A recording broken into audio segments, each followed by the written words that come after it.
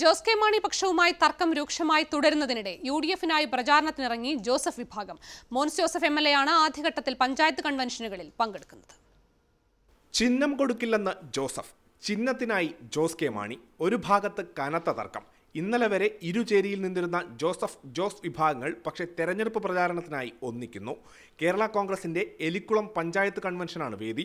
തർക്കത്തെക്കുറിച്ച് ഒന്നും പരാമർശിക്കാതെ മോൻസിന്റെ പ്രസംഗം. മുഴുവൻ രാഷ്ട്രീയ പ്രശ്നങ്ങളിലേക്കും വിശദമായി പറഞ്ഞു പോകുന്നത് ഇത്തരം യോഗങ്ങളിൽ ഉചിതമല്ല എന്ന് നിങ്ങൾക്കും ബോധ്യമുള്ളതാണ്.